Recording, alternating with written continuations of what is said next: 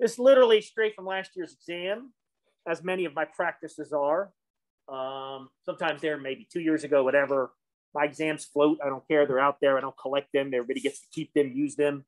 Don't forget the Cureless is having a review session tonight and tomorrow night, right? I believe. I'll get you guys ready for the exam. And they already contacted me about what to focus on. So I think uh, if you can go to that, be great. All right. So we got the following arithmetic operation. How many sig figs we report in this answer? Now, I don't consider this a math problem. I can just consider this sig figs because the math is just adding. So, um,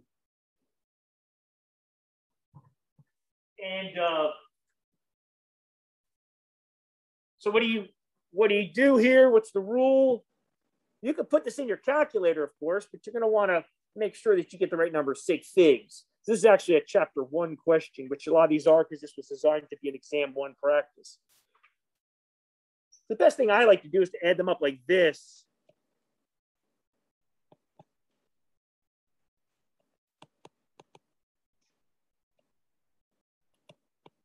Oops.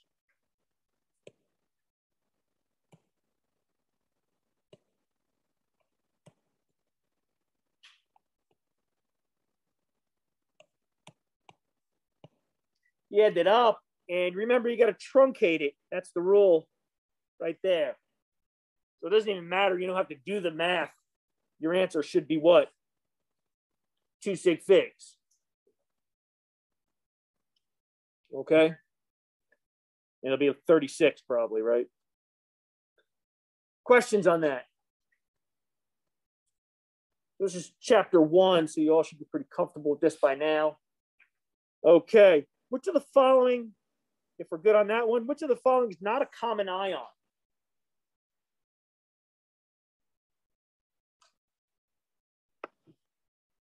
Yes.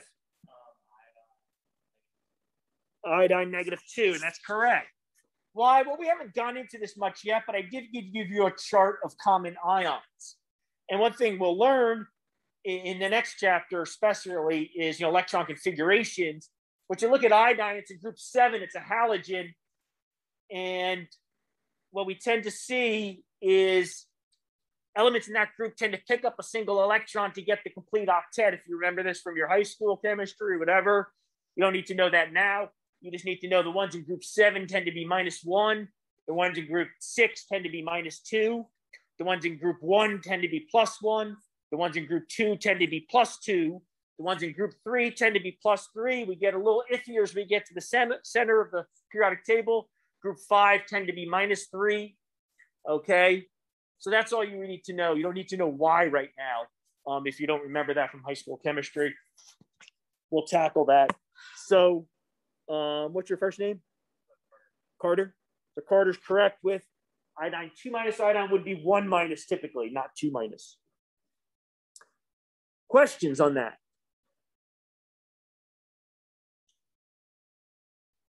Jermaski, thank you. And I've, we've got I've got students in all my classes with with COVID right now, so need to be diligent. Question three: The deepest point in the Mariana Trench is approximately 10.9 kilometers. Mariana Trench is the deepest um, space on the Earth. It's it's actually deeper than Mount Everest is high, so it's the the um, how would you say that? Swallow it live. yeah, so it's deeper than, than Mount Everest. So let's convert it to feet and we can compare it to Mount Everest. Okay, so we have 10.9 kilometers, right? Let's put down what we have, right? And then we want to know what it is in feet. That's all. And we've got a conversion there of miles, feet, and kilometers. So following our dimensional analysis, right? We can convert that and say, you could do it in two steps if you want. Um, one mile is 1.609 kilometers times 5,280 feet in one mile. Looking at your units, of course, kilometers cancel out and miles cancel out. Someone or a couple people do that calculation for me. Let me know what you get. 35,000. So Mount Everest is what, 29, I think, just under 30, 29 something.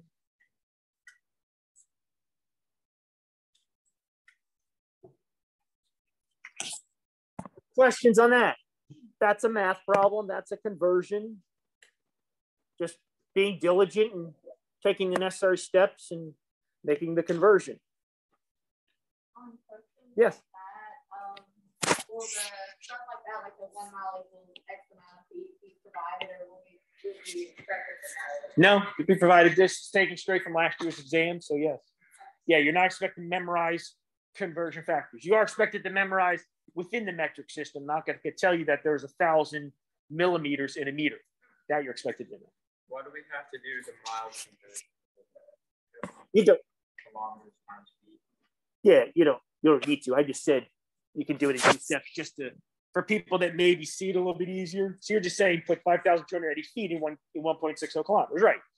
That's that's fine, and that's what I would do if I was just solving this. I wouldn't do it in two steps like that, but I wanted to show you kind of the sequential steps. But no, you could do 5,280 feet in 1.609 kilometers because that is a conversion factor. It's just that you usually don't see that conversion factor. And I don't necessarily, always, well, that one I guess I gave. I expect people to know the, the British system, the English system.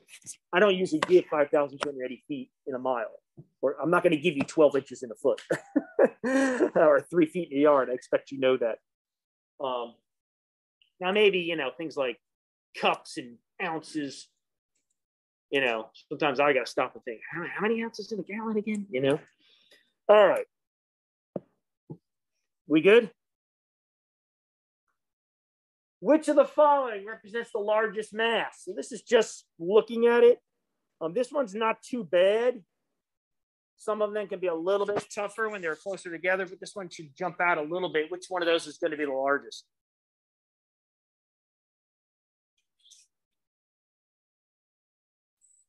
I guess it's not jumping out.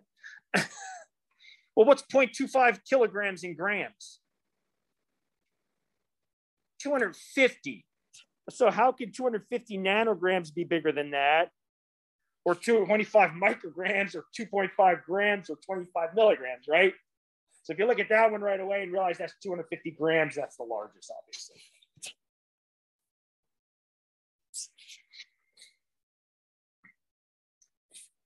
Questions on that?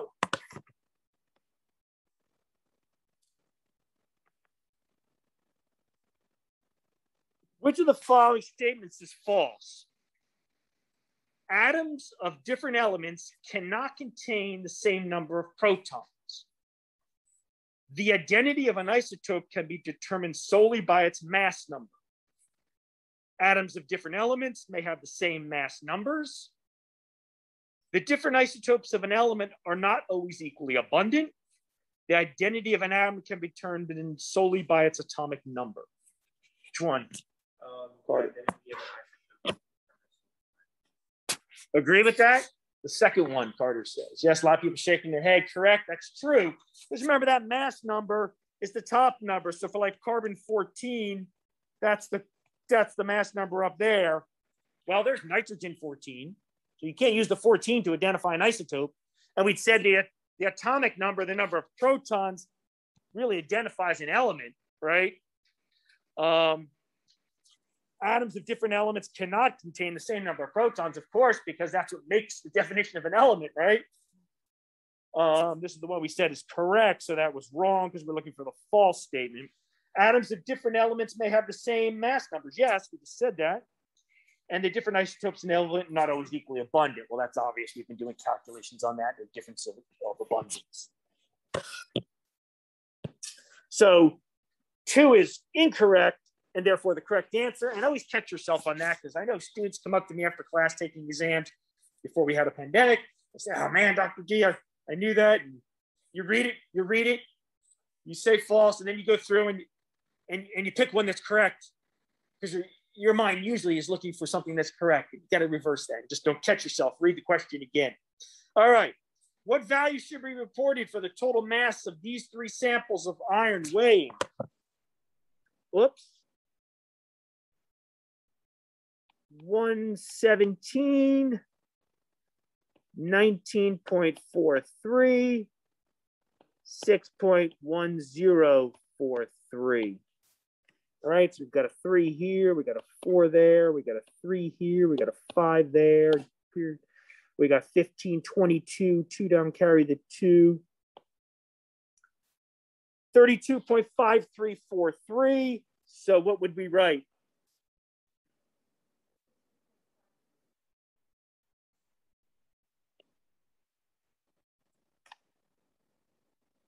Do you want to revise your answer? 32.5 and then grams, of course, per unit. Okay. We good? Oh, did I miss something? I'm sorry. Oh, that's 117. So I forgot the other one. Yeah. Um, so we got three. Oh yeah, so that's carrying.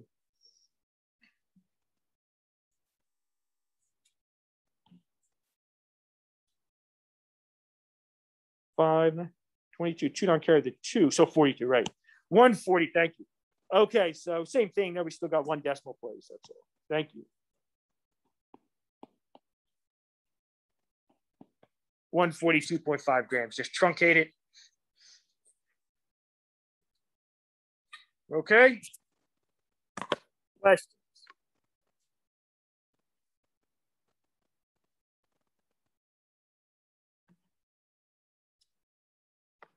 For each of the elements below, there are only two naturally occurring isotopes. Using the atomic masses on the periodic table, identify the pair in which the heavier isotope is the more abundant one. So which is the correct answer? Anybody, people might have looked this before today's lecture. How are you gonna do this? All of them except for, the, well, not all of them, the the first three are two apart 79, 81, 63, 65, 85, 87. And the last two are one apart. Yes.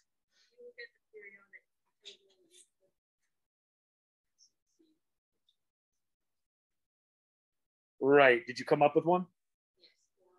Yes, very good. So exactly what you said. What's your name?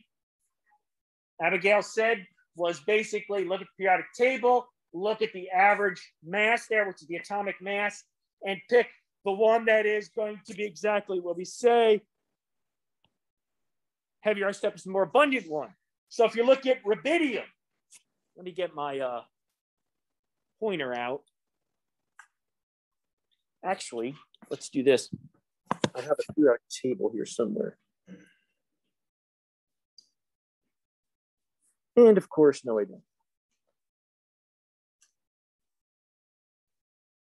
Where the heck is my periodic table?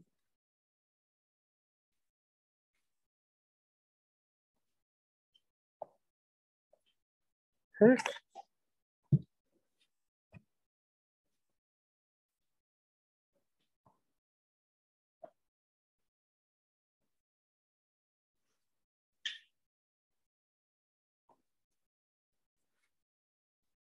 Oh, that one doesn't have atomic masses. That's completely useless. Uh,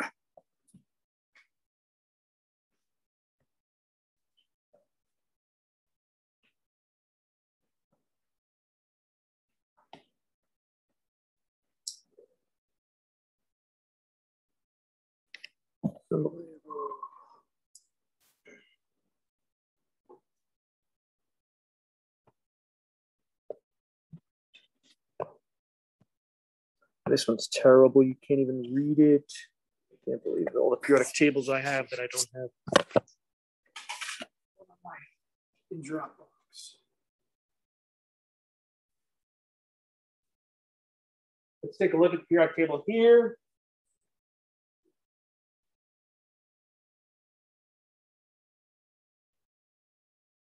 Okay, and back to here.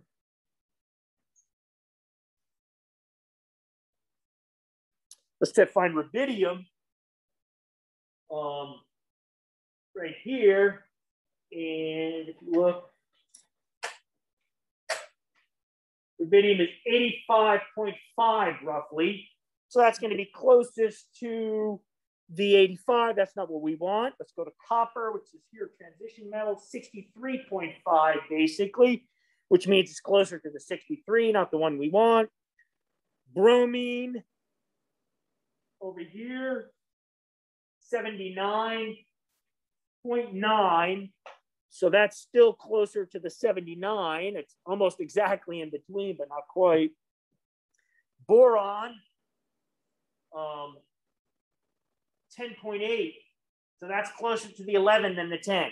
So there's your answer. And the last one was nitrogen 14 and 15, and nitrogen is right at 14. So that's your correct answer.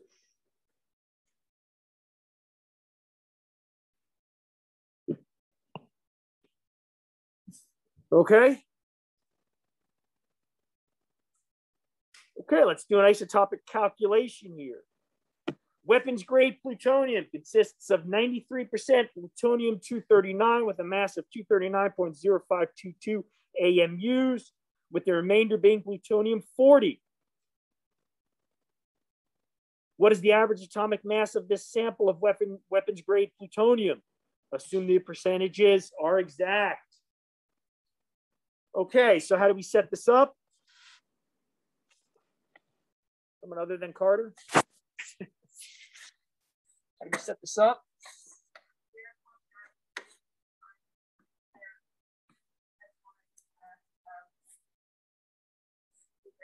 Right.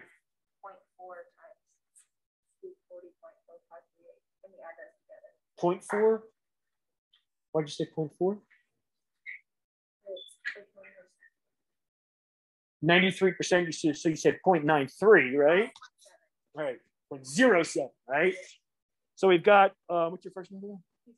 Houston said, start out with the 0.93 from the 93%, right? Divide by 100 times its mass is just 239.0522 plus, now the other part is 7%, so total is 100%. So 7 divided by 100 is 0.07 times 240.0538. And that should give us our answer. Which one do we get? I think it's, I remember correctly. Which one? Which one? Fourth one correct. That's what I remember too. Yes. How did you get the point? Uh, the total has to be 100%. And if one of them's 93%, the other one's 7%. And 7 divided by 100 is 0.07. So you can only do that if there's only two isotopes, obviously. If you have three isotopes, you have no idea what the other two are. You just have to know their total. But... Other questions? Now take that problem at home. And we said the answer is this. So take that problem at home and, and solve it backwards. So you're ready for an exam. So then say you've got 239.1233 is equal to 0.93 times two, whoops, 239.0522 plus 0.07 times x, right? You could solve for one of the masses, or you could do it again and solve for one of the percentages. Just get comfortable with your algebra, solving for any of these. Now that you have all the answers, you can make many problems out of that. That math's a little bit trickier because you've got to, you know, isolate the x. You've got to, you know, of course, subtract this quantity over to here and then divide by the 0.07 to do that. But still just, you know, um, basic algebra. Okay? Questions on that?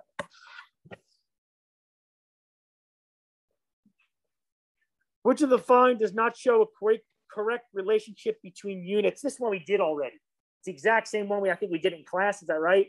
Remember it was this one? So I don't want to spend time doing that again. Okay, is, it? am I correct? Did we just did we do this? No one's shaking their head. I'm almost positive we did this.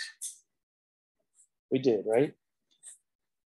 Because I remember going through this. I think it was on a slide. Does anybody Have a problem with that one? It should have been one microliter is 10 to the minus six liters to make it correct. Okay. How many grams of water would contain 6.54 times 10 to the 24 hydrogen atoms? Now we get into chapter two calculations. And you really understand moles and, and Avogadro's number, you can do a problem like this. A lot of people are going to struggle with this. How many grams of water would contain? Well, you tell me. Whoops. What that number up there means. So for water, it's 18, right? You add up oxygen, which is 16, and two hydrogens. What does that 18 grams mean?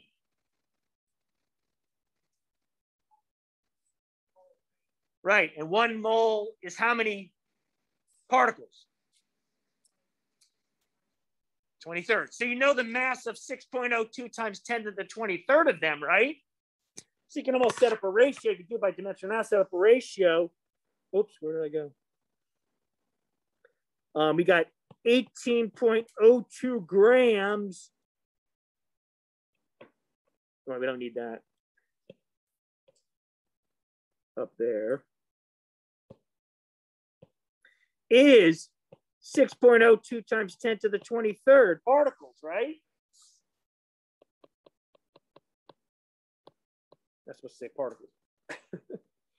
and you want to know how many grams is six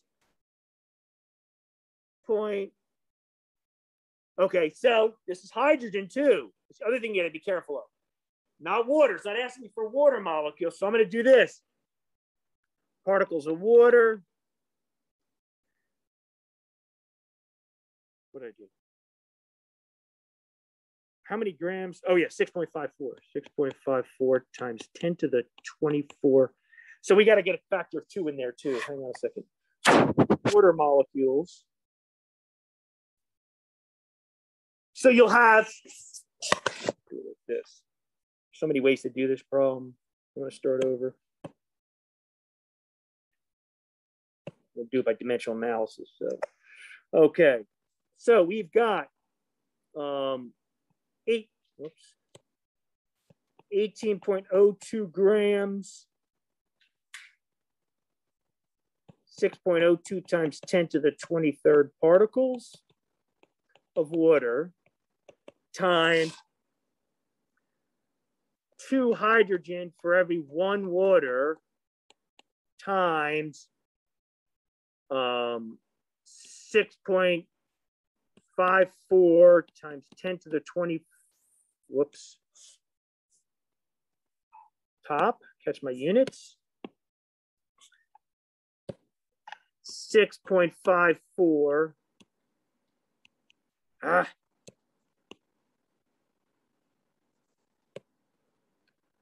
Running out of room here. 6.54.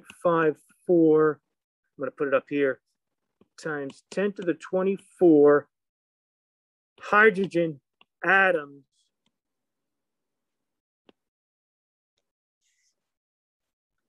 And then the way I've done it now, we've got X grams. So we'll have to flip it to get our answer. So I didn't set that up great. I should have flipped it the other way. So you could do it like this. 6.02 times 10 to the 23rd particles of water in every 18.02 grams of, was it 02? I guess it's about 02. 18 grams of water times um, two hydrogen atoms for every one particle of water times 6.54. You can just put this over one, 6.54 hydrogen atoms times 10 to the 20, 10 to the 50, what is it, 24. Sorry. There's so many ways you can set it up. That'll get you an answer. The top one will too. You'll just have to flip it. Um, so if we have 6.02 times 10 to the 23rd divided by 18 times 2 divided by the 6.54 times 10 to the 24, what do we get? The number's greater than Avogadro's number, but you've got half divided by 2. So I can't estimate that one in my head. The last one, right? Yeah, that's what I remember. Um, let's see.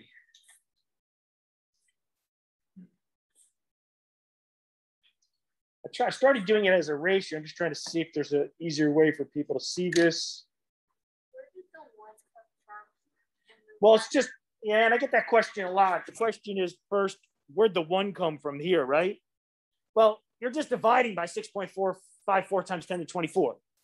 So when you do this dimensional analysis, you have to have one over. So you put Avogadro's number in the first part, so like over the eight point oh two grams. Do you have to have that, or can you just put like eight point oh two grams for every one mole of H2O? Um, yeah, no. So you'll need, you can do it in multiple steps, but you'll need the, the Avogadro's number in there because you've got particles here listed, atoms. So wish I had a little bit more room here. I should have left more room. So we can say that one mole is 18.02 grams times 6.02 times 10 to the 23rd, right? Particles of water. I'll just put P because I'm running out of space. Particles of H2O for every one mole. Okay, so I can break that into two parts, if you will. That's more of what we started doing with dimensional analysis. Go ahead, yeah. Like a what? I started off with the six point five four hydrogen atoms. Yeah. So I did one mole over Avogadro's number, and then I did one mole of H2O over two moles of hydrogen, and then I did 2.8 H2O.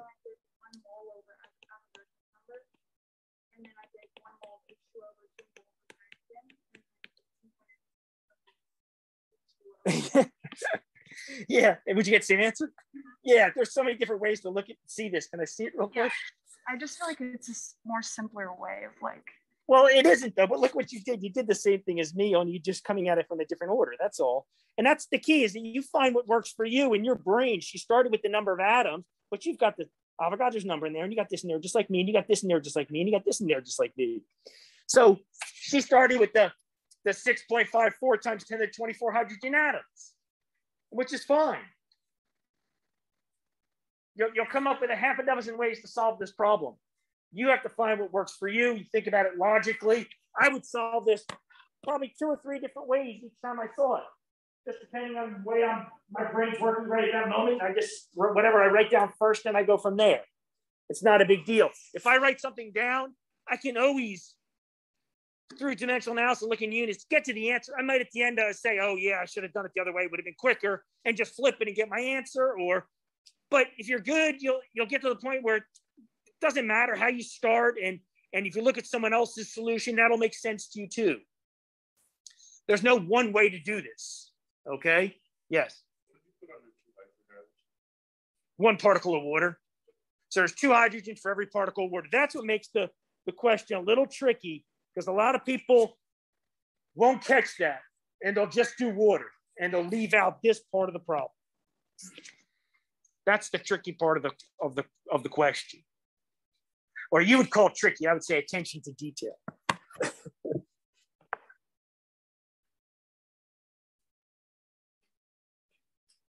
So we got our answer 97.9 grams. Questions? Just go home and look at it, right? Start writing down or what makes sense to you. But remember, that is the mass of our that, that up there is the mass of our dozen in grams, and it's the mass of a single molecule in AMUs also. And if you remember that, there's a problem. If we get to it, they'll show you with a lot of students struggle where to start. It's because they forget that effectively. There's questions like, you know, what's the mass of, of a, a single hydrogen atom? and people don't know where to start. What's the, how would you solve that? Let's do it right now. How would you solve that? What's the mass of a single hydrogen atom? And I don't want AMUs. I want it in, you know, grams. What's the mass of a single hydrogen atom? How would you solve that? I don't give you any information. You have a periodic table, that's it. How do you solve that? What's the mass of a single hydrogen atom in grams? What does your periodic table tell you? If I told you the mass of a dozen eggs is 50 grams, what would you do to solve the mass of one egg? Divide by 12, right? You have the mass of 6.02 times 10 to the 23rd.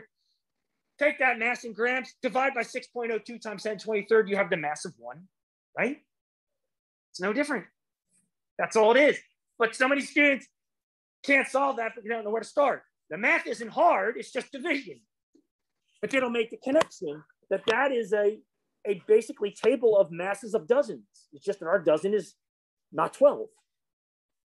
So if you're asked a question for the mass of one, well, you know the mass of a dozen, divide by 12. Right? That's all it is. All right. Density question. Let me erase some space here. Next time I got to leave more space. It's too cramped. All right. The density of glycerol and of mercury are 1.26 grams per mil and 13.5 grams per mil, respectively. Respectively means in that same order, right?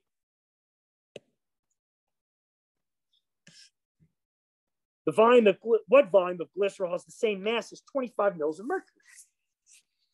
Okay. Well, let's figure out, right?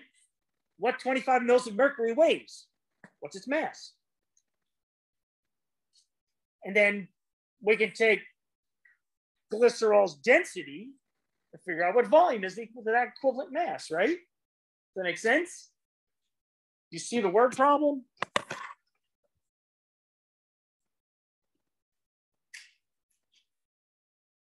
Yes, no? Yes? So we've got mercury is Hg. So I'm going to put that there just so we don't get confused. 13.5 grams per milliliter times, whoops, 25 milliliters. And what's that give me for the mass?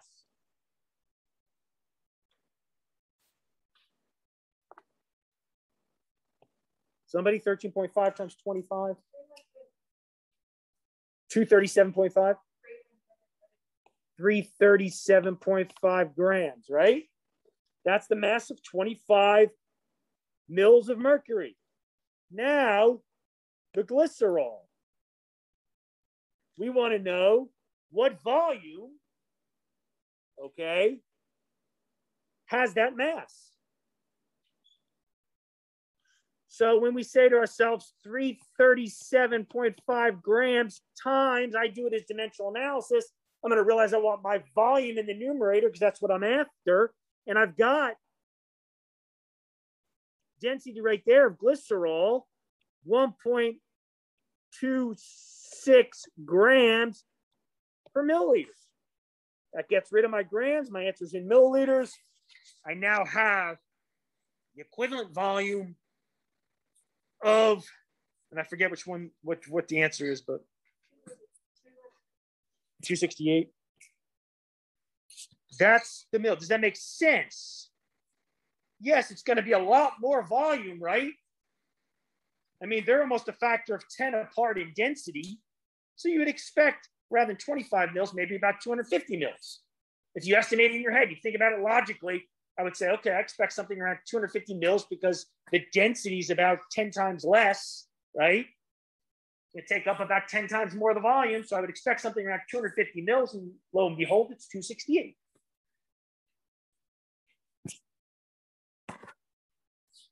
But it's a word problem. The math's not difficult. It's the word problem where people get confused and they're like, they can't piece it together. Questions?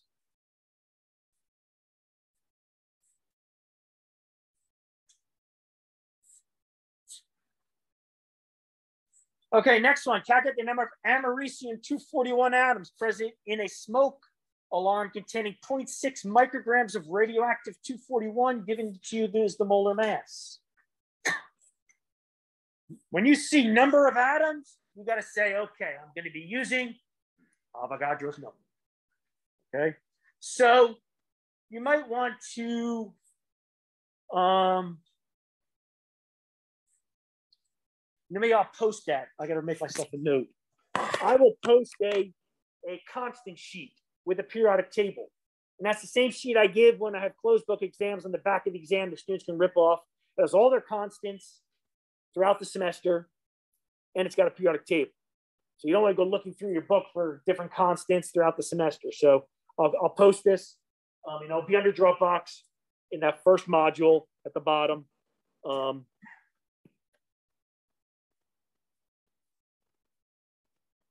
uh, a constant sheet, uh, which has a periodic table.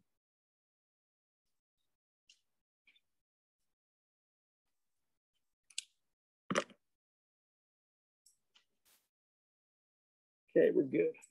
All right. So, number of atoms. Okay, well, I know that americium's up there. It's it's atomic number 95, so it's in the uh, uh, the uh, actinide series at the bottom.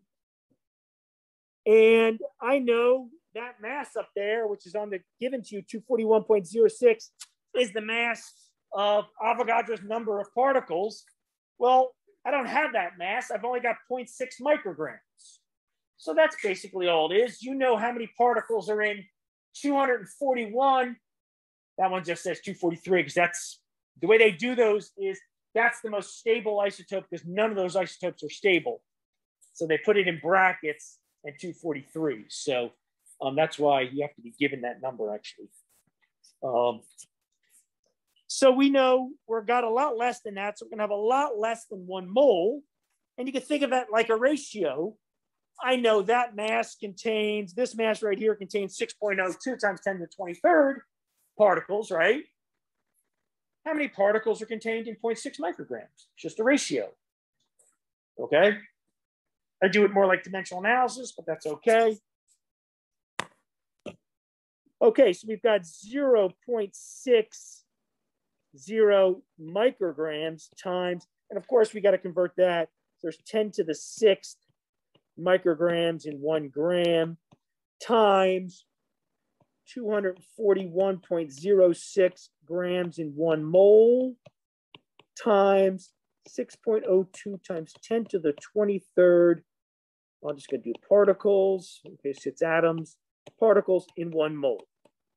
Looking at my units, double checking. Micrograms have been converted to grams, grams converted to moles, moles converted to particles. Makes sense. I'm multiplying by 12, by my dozen, by Avogadro's number, which is what I want when I'm asking for numbers of particles.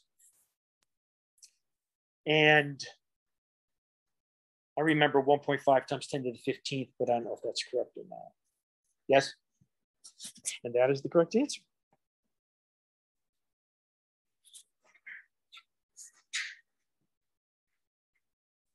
So I started with what I knew, moved across step by step, knowing the periodic table's units are always grams per mole as far as the molar mass. So I converted to grams right away, used my molar mass, which was given to me to get to moles, and then multiply by Avogadro's number to get the particles.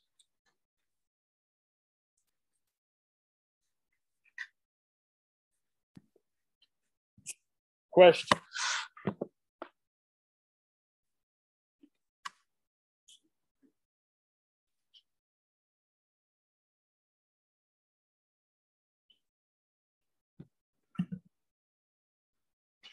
Okay. The gold foil used by Ernest Rutherford in his investigations of atomic structure was approximately one micrometer thick. Given that the radius of a gold atom is approximately 150 picometers or picometers, how many atoms thick was the foil? Did we do this already? No? Okay. All right. So we got micrometers and picometers. So we've got to convert the two, or one of them anyway. to be the same unit. They're in different units, so we can't do that. Okay, and of course you got the foil and you want to know how many atoms are in there. So if we take the total foil divided by the size of an individual atom, we'll get the number, right? So we've got which one you want to convert, doesn't matter to me. So micrometers, 10 to negative 6, 10 to the negative 12, there are a difference of a factor of a million, depending on how you do it, whether you're dividing by, you know, 10 to the 6 or, or whatever. So I'm going to just say um,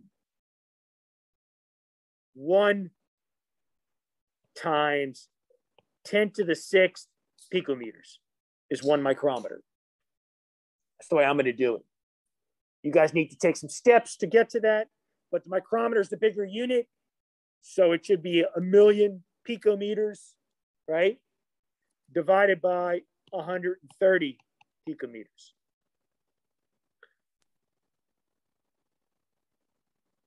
That makes sense? Yes. Did I do something wrong? One times 10 to the sixth. Yeah, it looks right. Or you could do it the other way and you could say one micrometer, convert the 130 to micrometers. Doesn't matter. And if you need to on the side, just convert these to both meters, then do that. Convert your picometers to meters, convert your micrometers to meters, and then do the problem. You'll get a half a dozen different ways in which this is solved on a very simple problem like this, depending on what your comfort level is. And what do we get for an answer? And if you look at this, it's 130 picometers per, per atom, if you will. So effectively get an answer of how many atoms.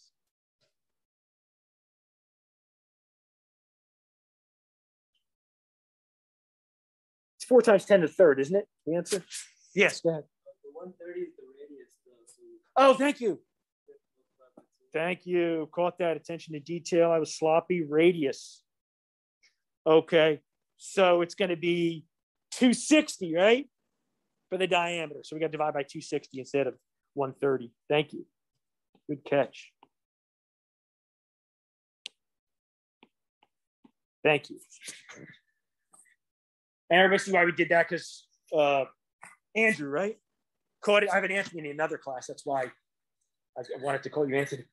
Um, so Andrew caught the fact that that says radius. So we obviously want the diameter, which is 260, to figure out how many hydrogen atoms. And the radius is obviously half the diameter. So I just divided by 260. And I believe we get this. Is that correct? That's pretty thin. Even though, you know, it's still 4,000 atoms thick, but that's pretty darn thin for numbers of particles.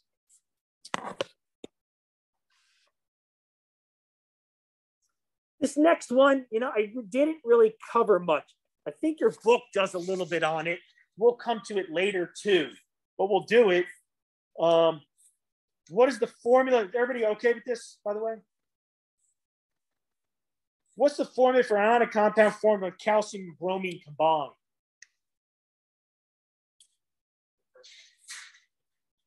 Right, that's correct. The easiest way to do this, you take the common charges that you saw and you have to memorize these because you have an open book, open note. You can go to that page on the periodic table that shows them. And the easiest way to do is what they, I forget what they call this, swapping method or something. Yeah, you just cross, cross swap, whatever. I don't know. If they, I don't know if they actually have a name for it. But remember the, the negative one, like this, just bring the two down here and the one there. And that's how you get your formula. And the reason is because the compound has to be neutral, right? So you need two of the, the one minus ones to equal the one, two plus. That's why the formula is CaBr2. And sodium chloride is one to one because they're both one. Aluminum chloride is AlCl3. Why? Because aluminum's plus three.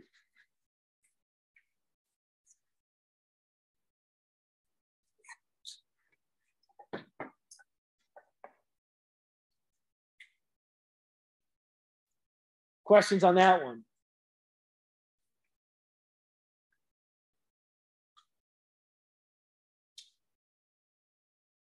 Okay. What do I have? 17? 15. If the nucleus of an atom had a diameter of one centimeter, diameter, okay, we're good there, no radius, roughly that of a dime, what would be the approximate diameter of the atom? The radius of the nucleus is approximately 10,000 times smaller than the radius of the atom. So this is really not a calculation, it's just a metric question. So effectively, if the nucleus of an atom had a diameter of one centimeter, so the nucleus is one centimeter, so this is what we're asking here. Here's my atom, here's my nucleus, and it's one centimeter. Will be approximate, and this is going to be 10,000 times that. So it's just 10,000 centimeters. You just got to find the one that's equal to 10,000 centimeters. Right? Which one's that? Well, if you wanted it in meters, it would be what? Bring it over twice, right? It would be 100 meters. Is that a choice? Yeah, it is. There it is right there. 100 meters. Oh, that right?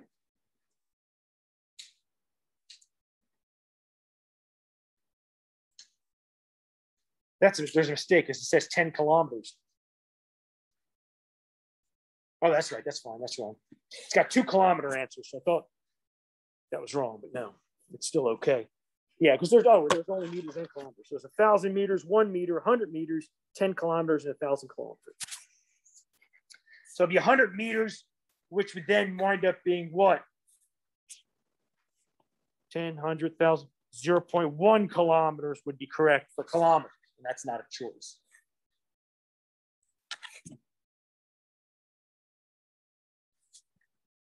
Okay? Just move your decimal place over as you get comfortable with the metric system. Yes.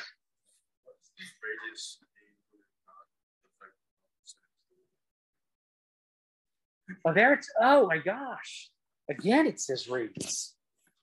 I saw this up here. If the nucleus of atom had a diameter of one centimeter, what would be the approximate diameter of the atom? Oh, okay. The radius of the nucleus is approximately 10,000. Okay, so it doesn't affect it. Very good, though. You caught that. Um, they both say diameter up here. But the radius is just half. So the, the factor is the same. If the radius is 10,000 times smaller than the atom, then the diameter is 10,000 smaller. Yeah. Um, then the, the diameter of the nucleus is 10,000 times smaller than the diameter of the atom. So it doesn't matter if you say radius. Now that's confusing though. I just realized that it'd be better if it just said diameter. I didn't see that. But the ratio is going to be the same. It's just a factor of two. Okay. Two more. And then I have a couple other questions I prepared. I got plenty of time. Strontium 90 atom has lost two electrons and therefore has blank protons, blank neutrons, and blank electrons. Strontium is a group two metal, which are named what? Right, alkaline earth metals. Alkaline metals, alkaline earth metals, and then halogens, noble gases. You don't need to know the chalcogens. I don't know if that's the way to pronounce it. Chal- chalcogens, chalcogens. I, I never learned that one. And Are we going to be tested over that? No, like the chalcogens one? I mean, you have to know the, the group. Okay. You just don't have to know the name.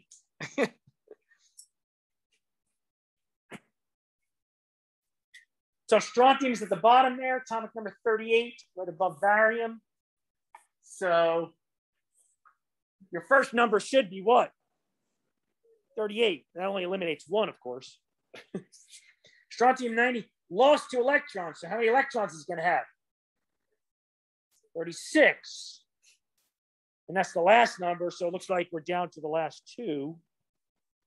And then How many, how many neutrons? 52 because we've got 90 minus 38 equals 52. That's the correct answer.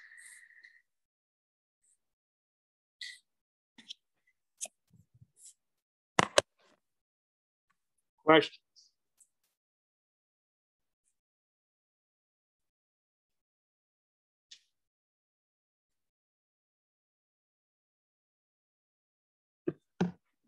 All right. We good? One more. Green light in the visible portion of the electromagnetic radiation spectrum has wavelengths around 550 nanometers. Express this wavelength in meters using exponential notation.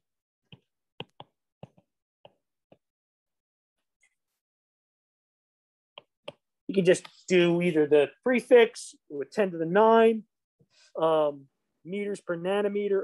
Um, I'll do 10, 10 to the 9 nanometers in one meter. So you get 550 times 10 to the minus 9 meters, right? But we want to put in exponential notation. So instead of 550, I'll go over twice, 5.50. That makes the number smaller. So the exponent needs to get larger.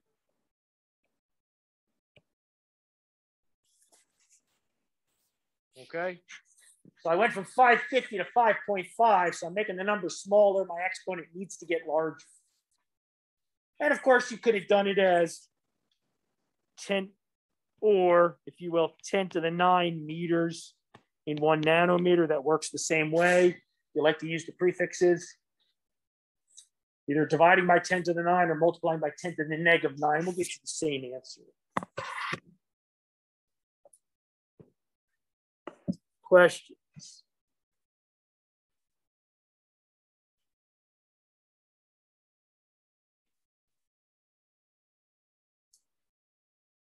Okay, let's take a look at. I only have three questions here, I believe. First one's easy, not easy, but the first one's not calculations, not long to do. The last two a little bit more involved. If you don't have a copy of this, you want to jot this down, it's fine, it'll be up there long enough. The ion X2 plus has 25 electrons. A possible identity for X is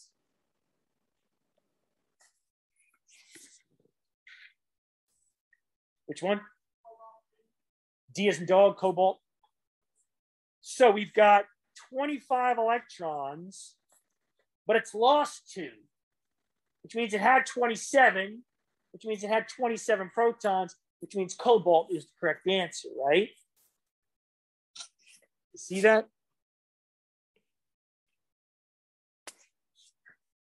And they're all right next to each other on the periodic table right there, first row, the transition metals. Questions? So you have to realize, okay, well, it had, it's lost two electrons. That's what two plus means. It's lost two electrons. Because keep in mind now, when you have an X2 plus, that means now effectively it has 25 electrons. That means it must have had, now it has 27 protons and 25 electrons. So it's two less negative charges. That's where the two plus is coming from. Sometimes they get students get confused and say, well, lost electrons, so why does it have a plus two charge? Well, because electrons are negative. It's kind of like zero minus a negative two in, ma- in, in math, right? Equals plus two. That's what you're doing. You're losing two electrons minus a negative two. So you have a plus two charge, and the number of protons has to be two more than that. Then. And that's cobalt. You just look for the one that has 27 atomic mass, and you're done. All right. Now we got an isotopic abundance one, and it's the tougher one where you've got to solve for one of the isotopes rather than, well, of course, I'm not going to give you that on the on the exam because those numbers are given to you up there on the graph table. So here we got iridium, two stable isotopes, 191, which is 190.96 AMUs, and 193, which is 192.96 AMUs. The average atomic mass of iridium from the periodic table is 192.22. And what is the natural abundance of each isotope. You're not given either one. This is similar to what we did in class for what was it, silver maybe? I think we did silver. Maybe it wasn't silver. Yeah, I think it was. So there's only two isotopes, right? That have to total up to 100%. That's a given. And when we divide our percentages by 100, we get one. So they have to total up to one, right? So that means we can use x and 1 minus x for our two variables to define these two. That's algebra, right? Got two unknowns. We got to come up with a way to defining it. And we know the total is 192.22. That has to equal, remember, the abundance of one times its mass plus the abundance of the other one times its mass. That's the way you've solved these before. It's just that now you got to do a little reverse algebra. So let's set that up. The abundance of one, it doesn't matter which one I call X. I'm just going to do the first one because it because it's there. So I have got X, that's my abundance, whatever it is. Let's say it's 90%. Let's just say that's what it would be like putting 0.9 there. 190.96 plus 1 minus x times 192.96. That's the math. Okay?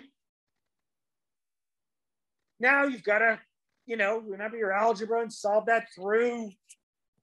So we're going to get this is equal to 190.96x plus 192.96 minus 192.96x. All I did was distribute whatever rule that, I don't remember all the names, distribution rule, whatever, I don't know. I just do it. That's what we get, right? So now we can do, combine our x's, right? And bring the, the, the number to the other side. We're gonna get 192.22 minus 192.96. Heck, Dr. D, that's going to give us a negative number. That can't be right. Well, hang on. Once we combine our x's, we'll get a negative number too, and then we'll get a positive number. Because you can't get negative here. They're percentages for isotopes. They can't be negative. So that's okay. Um, what's that, like a negative 74? Negative 0.74, right? um, negative 0.74. That's going to equal what do we have? We've got a negative and we've got 2x, right? That's all, just 2x. We got negative 2x equals a negative 0.74. So divide the negative 0.74 by negative 2, and you have your value for x. And what do we get there? Anybody do that? 0.37. So X is equal to 0.37. Don't get mixed up now. That's the 191. That's what we want right there. So the other one's going to be 63%. That looks like that is the correct answer, A.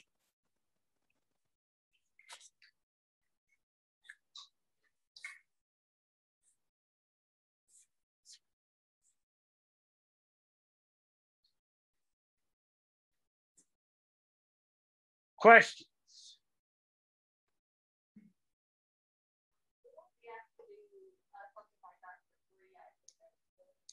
No, no.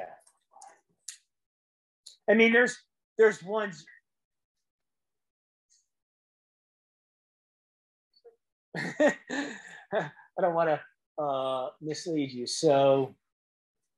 Well, I know there might be ones where you're like multiplying, but when it comes to like actually finding. Not not if you don't know three of them. No.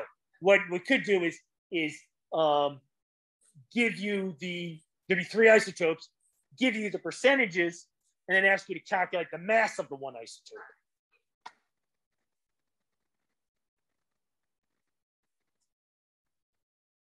Questions?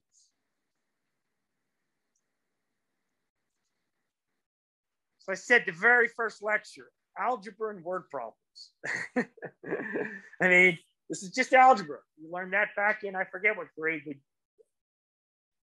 algebra seventh, eighth, ninth, depending on schools you went to. Um, so it's just algebra. You have, might have to sharpen your algebra skills. I'm not an algebra teacher. All right, so we got our answer. We got the x is 0.37, therefore 1 minus x has to be 0.63, and then convert them to percentages, you get 37% and 63%.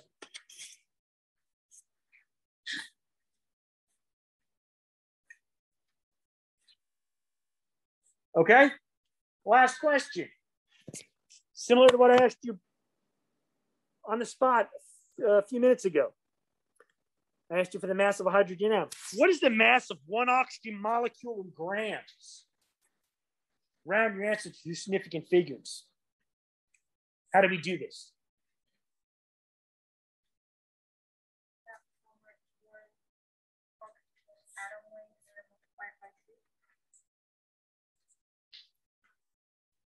Find them. Oh, yeah, you can do that. yeah, that's that's fine. I didn't even think of it like that. But she said find the mass of one oxygen atom and multiply it by two. Right? That that works. But how do you get the mass of one oxygen atom? Okay, well, we're gonna look at the periodic table. Yeah, the way we do it, that those not the number. What's the mass of one oxygen? It's 16 AMUs. We can use 16, it's 15.99. It's 16 AMUs, but we also know the mass of a dozen, right? Just like we did with the hydrogen. So what do you want to do here? What's that? Divide by Avogadro's number, right? So we can do it Houston's way. We can say 16 grams per mole times 6.02 times 10 to the 23rd oxygen atoms in one mole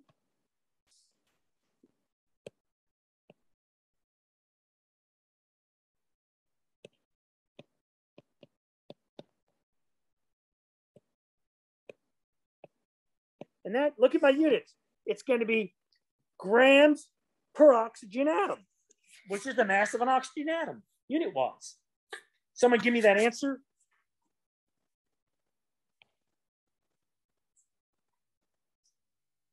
Well, no, the answer, we're not done because we have to multiply by two. We can do it in one step. Let's do that. I would have done it with the 32. That's what I was thinking. 32 grams per mole for oxygen and do it like that. Houston decided to do the two, the uh, 16, which is fine. So, whoa, the heck is that? New to me. All right. Um, and then times two oxygen atoms per one O2 molecule. So we now have the mass of an O2 molecule you want to do it by dimensional analysis like that. I would have just used 32. Yeah, Abigail, was it? Yes.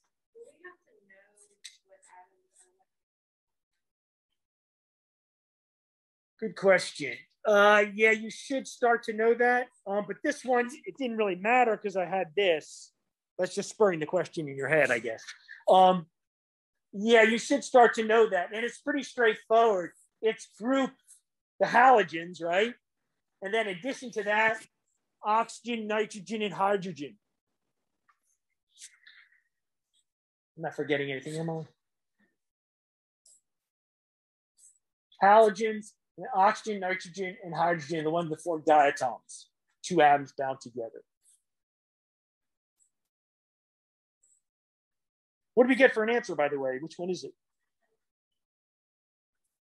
E as in Eric?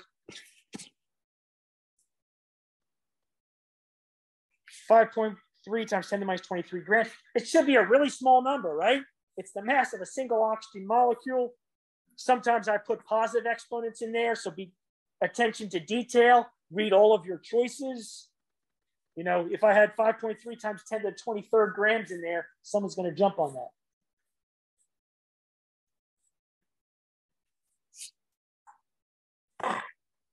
Once we get past the fundamental stuff, I tend not to put incorrect answers in your multiple choice.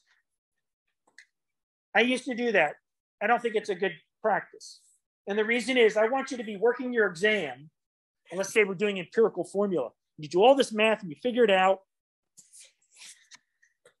And then I have the common mistake made and I have the wrong answer there. And you grab it, you choose that one, and you move on.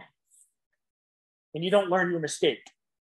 Now, if you're working it out, you're a good student, you come to an answer, you see the answer is not there. You say, wait a second, I did this right. Wait, oh man, I forgot to. And you catch the mistake, and you'll never make that mistake again because you caught it yourself. Rather than you coming up after class and saying, Dr. J, what I do wrong, and I tell you, and because you didn't do it yourself, you'll wind up making that same mistake again. But for this, for stuff like this, this fundamental stuff, I need to know that you know that this should be negative 23 grams, not positive 23 grams, because the mass of a single molecule, right? Things like that. Or if I ask you the number sig figs, and there's three, I'm going to have one, two, three, four, five. I'm going to have lots of wrong answers there that make sense to you. So, but once we get to more advanced calculations, I tend to throw that practice out because then I want you to figure the, the math out because you're doing more advanced stuff. Questions? I'll take any questions you have. We, we still have time, a few minutes. Um, if there's anything, I've gotten some emails, which is good. Some of you are working some of the problems in the back. Some of you are working even problems and asking me questions. Good. Um, finish up that Smartwork. You know, use that to study. Use the quizzes to study. Questions in the back of the book. Do some more. Go through the slides again. Go through the exercises. Good luck studying. Reach out if you have any questions.